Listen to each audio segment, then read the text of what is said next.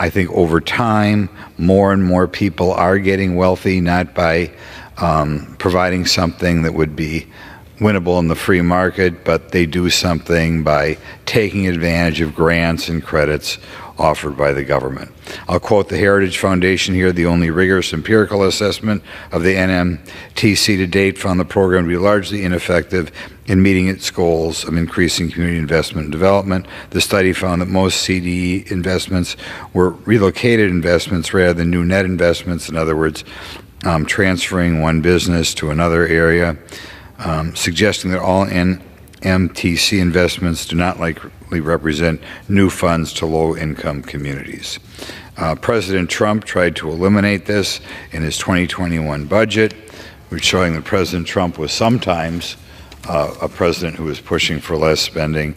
Uh, in his budget, they noted that the CDFI fund was created to jumpstart an industry at a time when CDFIs had limited access to private capital. The CDFI industry now has ready access to capital needed to extend credit and offer financial services to underserved community, eliminating the need for such grants. In the interest of ending cronyism, saving some tax dollars, stopping government waste, and uh, getting rid of a program that I think too frequently makes wealthy development types still wealthier. I urge a yes vote on this amendment. I reserve the balance of my time. Gentleman reserves. For what purpose does the gentleman from Arkansas seek recognition? Mr. Chairman, I claim time in opposition to the gentleman's amendment. The gentleman is recognized. I rise in opposition. Community development financial institutions stimulate economic growth and create and sustain employment opportunities in rural and low income areas, like a lot of America. The CDFI Fund ensures CDFIs are able to provide these underserved communities access to capital by awarding certified CDFIs with tax credits and monetary support. I'm proud that my own state greatly benefits from the CDFI Fund and have seen the far reaching impact it's had on the community. Defunding the program would only serve to harm the most vulnerable communities in America. So it's under that pretense, Mr. Chairman, that I oppose the amendment and I reserve the balance of my time. Gentleman reserves. The gentleman from Wisconsin is recognized. Uh, I'll just make one more point here. Assuming some of this money uh, benefits Americans, not just the wealthy wheeler dealers, we right now, at least if Wisconsin is any indication, have huge surpluses uh, in our state coffers. If it's a good idea, it should be handled by the states, not by the federal government that is broke out of its mind. One of the reasons we're so broke is I think too many of my colleagues don't look at the Constitution and realize that some things are supposed to be handled by the state and local government, and other things are supposed to be handled by the federal government.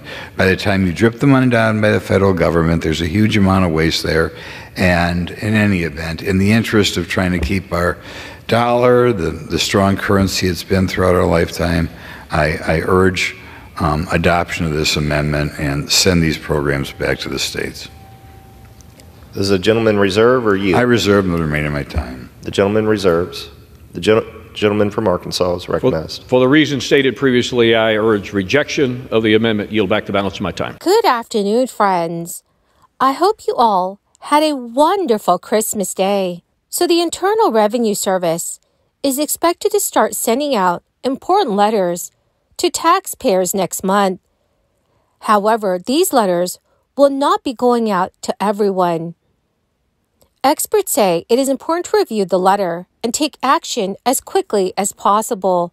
My dear friends, please make sure that you watch until the end of this video to know about all of the details. Every Friday, I will be announcing several winners for the Walmart gift card giveaway.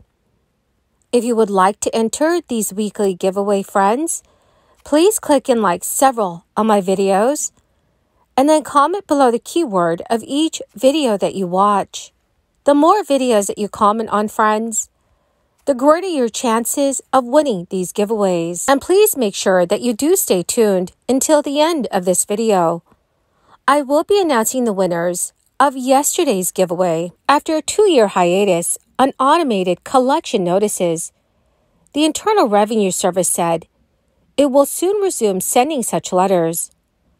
According to CNBC News, In February 2022, the agency suspended automated collection notices to devote resources to its backlog of unprocessed correspondence and returns. But starting next month, notices will resume and the IRS will send a special reminder letter covering taxpayers' liability, ways to pay off the balance, and possibly penalty relief. However, the agency is waiving approximately $1 billion in late payment penalties for millions of taxpayers with balances under $100,000 from returns filed in 2020 and 2021. The relief is automatic, but late payment penalties for unpaid balances from 2020 and 2021 will resume on April 1st, 2024. While late payment penalty relief may be welcome news for taxpayers with debt from 2020 or 2021, you will still need to pay off those balances. CNBC News has said that if you owe $50,000 or less, including tax, penalties, and interest, you can set up a long term payment plan online. With tax season approaching very soon, one of the biggest changes for 2024 is the expansion of home energy credits. This is due to the Inflation Reduction Act of 2022. So if you took steps to make your home greener in 2023, you could be getting more money back, according to CNET. Adding alternative energy to your home provides the biggest tax break. But simple improvements to oil or gas appliances, or even to structural items like insulation, windows, and doors, can also give you money back this tax season. The IRS allows two main tax credits for improving energy efficiency at home the Energy Efficient Home Improvement Credit and the Residential Clean Energy Property Credit. The first credit deals with improvements to energy efficiency in your home, while the second focuses on alternative energy projects like solar panels or wind turbines. Formerly called the Non Business Energy Property Credit, the Energy Efficient Home Improvement Credit now provides taxpayers 30% back for the installation of certain Energy Star certified devices.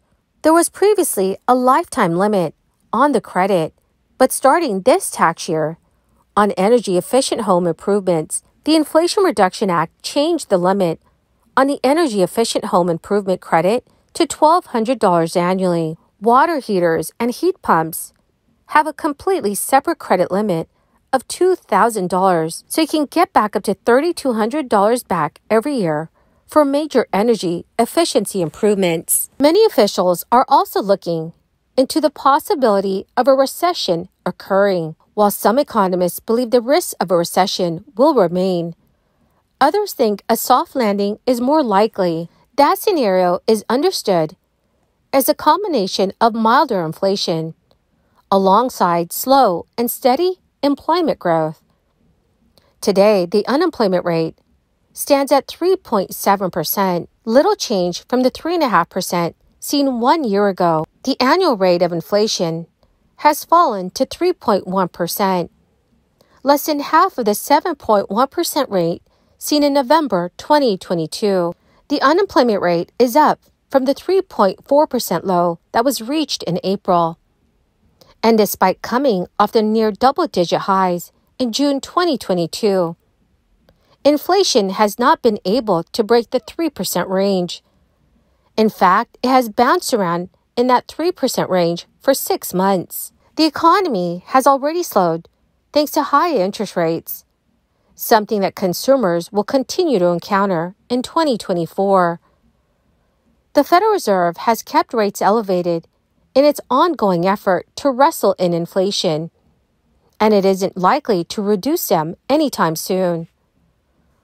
Right now, credit card interest rates continue to average more than 20%.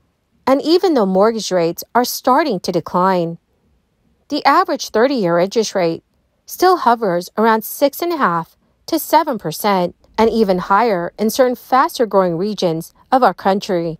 Well, my magnificent and most marvelous friends, thank you, dearest friends, for being part of this community.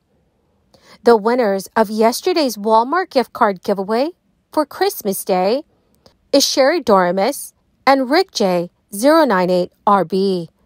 Congratulations, my dearest friends! To claim your gift cards, please check your notifications page and send me a message. Or, dear friends, you could message me on my Facebook page. Thank you and have a wonderful and very blessed week.